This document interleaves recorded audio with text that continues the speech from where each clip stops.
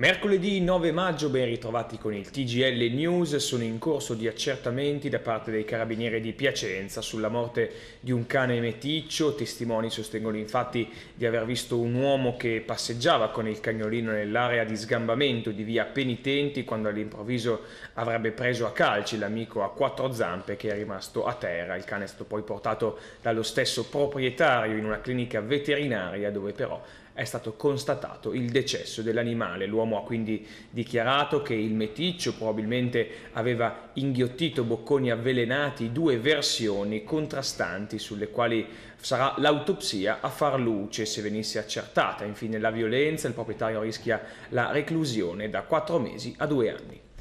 Facciamo governare quei due riferendosi a Salvini e Di Maio, l'ha detta questa mattina Fedele Confalonieri, presidente di Mediaset, ospite della convention organizzata dall'Università Cattolica e rivolta agli studenti del corso di food marketing. Ci sono rischi grossi per il paese, ha spiegato Confalonieri, non è il caso di andare ad ulteriori elezioni. Stamattina al convegno hanno preso parte anche i top manager e le imprenditori delle più importanti aziende industriali e commerciali commerciali italiane. Gli studenti della laurea magistrale in food marketing hanno poi avuto la possibilità di elaborare progetti con le più importanti multinazionali da Ferrero a S. Lunga, da Conad a Bonduelle sono saliti in cattedra per presentare i risultati del proprio lavoro.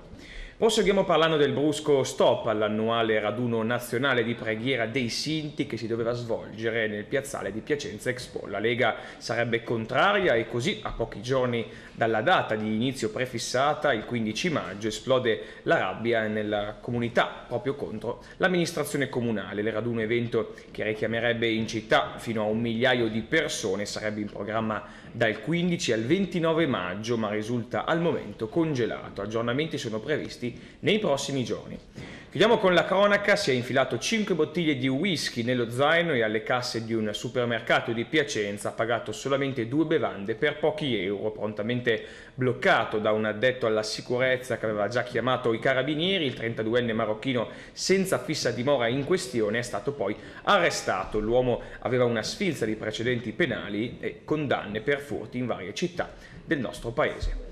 Per questa edizione è tutto, il TGL News torna più tardi.